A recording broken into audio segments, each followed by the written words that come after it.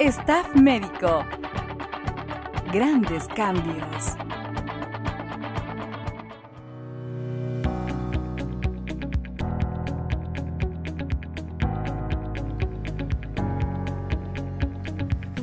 Hola, bienvenidos a su programa Staff Médico.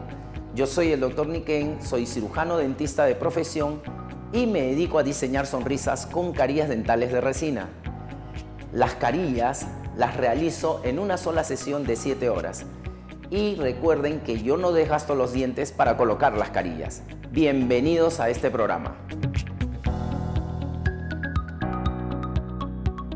El caso clínico que les traigo el día de hoy está relacionado con una leve malposición dentaria, bordes irregulares de los dientes anteriores y vamos a hablar algo de blanqueamiento dental.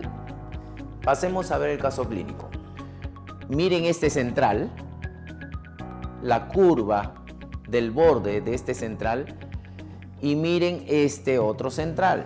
Sabemos que los centrales tienen un borde ligeramente recto, ligeramente recto, y este es un central con borde curvo.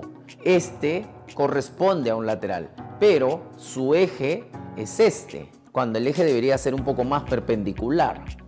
Acá el problema se suma en estos cuatro dientes. También podemos observar manchas blancas corresponde a una descalcificación del esmalte. Y hay que tener mucho criterio para hacer un blanqueamiento en estas condiciones. ¿Por qué? Porque las manchas blancas se podrían acentuar con el blanqueamiento.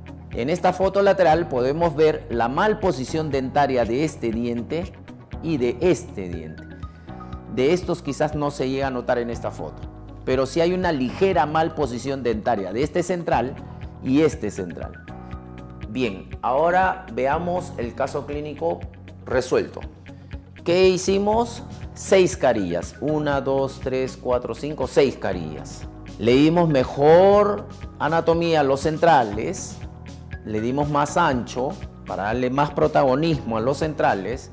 El lateral corresponde a un borde más recto y los caninos en una mejor proporción. Pero acá en la foto se ve algo muy interesante. Después del blanqueamiento, mire cómo se acentuó las manchas blancas. Y eso hay que tenerlo muy en cuenta, porque el paciente no podría terminar con 6 carillas, podría terminar con 10 o 12 carillas. En una toma lateral vemos la curva formada por los bordes de los dientes superiores. Los centrales son más largos, los laterales son más cortos, corresponde a una mejor anatomía, el canino ahí cumple su función y es así como se solucionó este caso.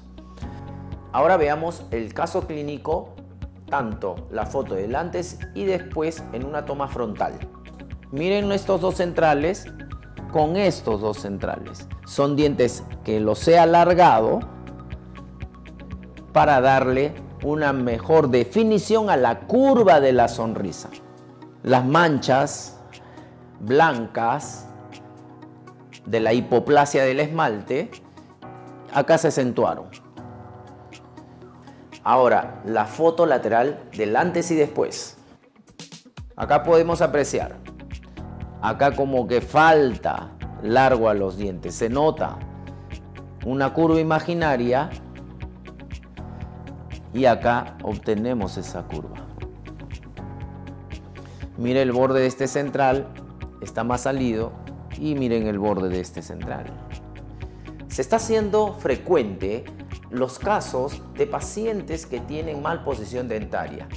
Su primera elección debería de ser brackets y eso siempre lo recalco. Sin embargo, hay pacientes que no desean utilizar dichos brackets y su solución está en las carillas dentales. Espero que les haya gustado el caso clínico que les traje el día de hoy.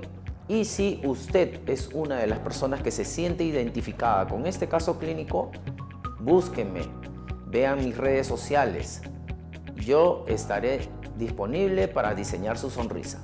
Nos vemos en la próxima edición.